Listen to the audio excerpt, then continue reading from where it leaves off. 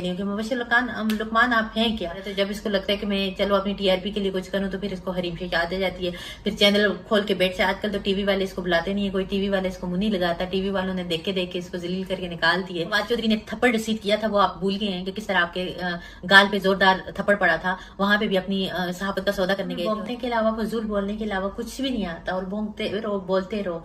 और पीटीआई को मैं सपोर्ट करती हूँ और बरबला सपोर्ट करूँगी। क्योंकि पीटीआई में इमरान खान साहब हक पे हैं। और तुम जैसे दो नंबर सहाफी चमचे कुछ नहीं बिगाड़ सकते। खान साहब को जो इज़्ज़त, जो जलालत, जो किबरियाई, जो तकवीत अल्लाह तबारक वाली ने दी है, इसलिए दी है कि उनके अंदर कुछ है। अल्लाह को वो बंदा पसंद है।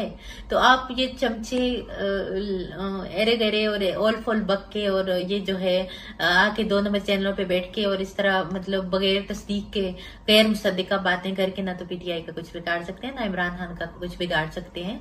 और जिधर दो, तीन, चार पैसे आप लोगों की जेब में डाले जाते हैं तो आप उसी तरफ़ हो जाते हो, लोटे बिके हुए लोग।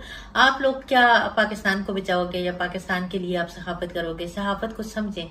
सहाफत है? क्या? आप अपने कलम का सौदा कर रहे हैं अपनी सहाफत का सौदा कर रहे हैं। तो शर्म करें अपने बच्चों के पेटों में हराम और आप लोगों की तो कोई इज़्ज़त कोई वर्त नहीं है। और आपको क्या आप तो खान साहब की पाओ की जूती के बराबर भी नहीं हो रहे। तो खान साहब के मतलब अगेंस्ट बकवास कौन कर रहे हैं? मतलब वो दो टके का इंसान जिसकी कोई वर्त कोई हैसियत कोई औकात कुछ भी नहीं है।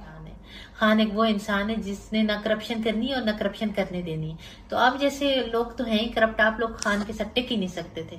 तो इसीलिए आप को ज़ाहिर है नून लीग की तरफ़ से दो, तीन, चार रुपए मिल गए होंगे जिन्होंने पूरे पाकिस्तान को लूट के खा रही है और लूट के खा रहे हैं और पाकिस्तान को सत्यानाश कर दिया।